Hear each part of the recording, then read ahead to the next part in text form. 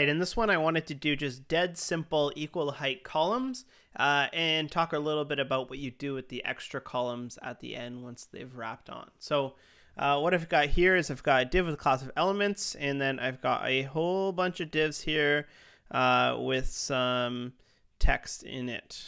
So um, open up your style.css and again, all this is just regular CSS to make it look decent uh, we're going to start down here. So if I want these things to go beside each other, I want them to be in columns and I want them to be of equal height of the largest one. How do we do that? Well, go ahead and select the elements. So elements again, this is going to be our you tell me flex container. Good, I heard you from wherever you are. Uh, so we'll say display flex and give it a save, refresh. And oh, holy smokes. So what it does by default is um, it will put them together. And how is it determining the, the width of these columns? Well, Arkansas is determining the width of these columns. Uh, and that's really not what we want, but uh, when you say flex, things by default are in a row and they will just go forever. They do not wrap. That's the word we're looking for. They do not wrap by default. So how do we turn wrapping on? Well, flex, wrap, wrap. Uh, give it a save, and bam. Okay, that's starting to starting to wrap, and it's kind of interesting. This is something that you might want. It, it kind of just tries to fit as many as it possibly can. How big are these elements here? They are as big as the content needs them to be. Sometimes you only get one on a line. Sometimes you get two. I don't want to see any three, but if I were to make this bigger, you'll see that you can fit a whole bunch of them on the line. So that'd be kind of a, a cool layout for tags or something on a WordPress blog. However, uh, we also want to um, give these a width because we want to be able to uh, sort of fit them in as we can. So uh, select the flex items. So that's dot item, I believe. Yes, it is.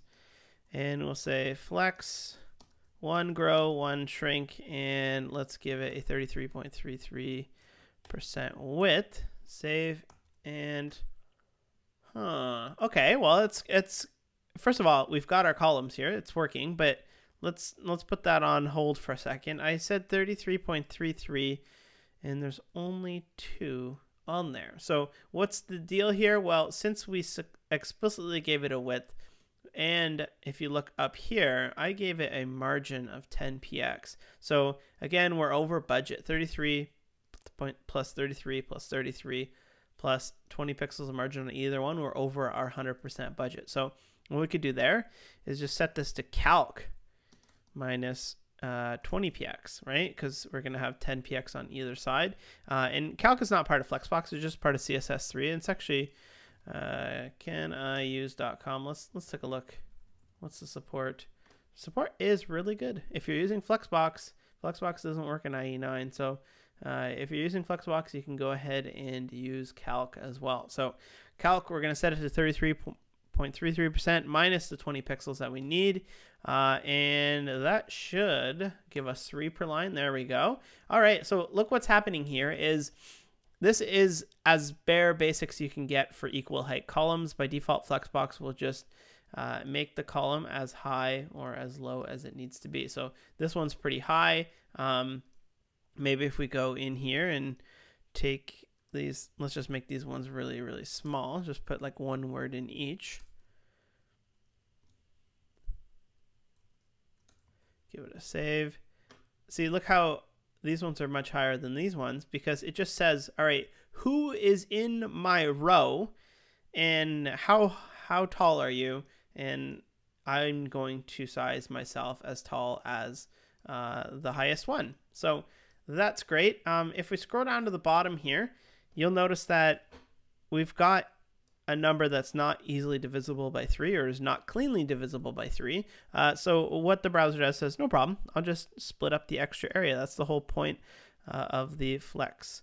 Um, and that's great, but if you don't like that look, um, we have a couple of other options. We go to the CSS tricks article here, and we've been dealing a lot with the uh, align content and align items where align items where we do it vertically we can do it on the flex end or the center and things like that but um, we're not really concerned with the vertical here. We're concerned with horizontal and how are these items uh, split up. So which one are we actually worried about? We're look at justify content. So uh, again, this goes on the, this is a flex container element.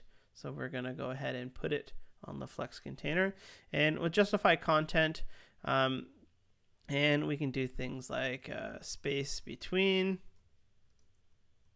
And you'll notice that it, it doesn't work. And the reason behind that is because we've told it to flex grow. In this case, we've got extra space and we've told it to evenly split the extra amounts to it. If we change that to zero, uh, what that will do is in the situation where we have more space than we need, which is the case, we previously told it to just split it up evenly, and it did.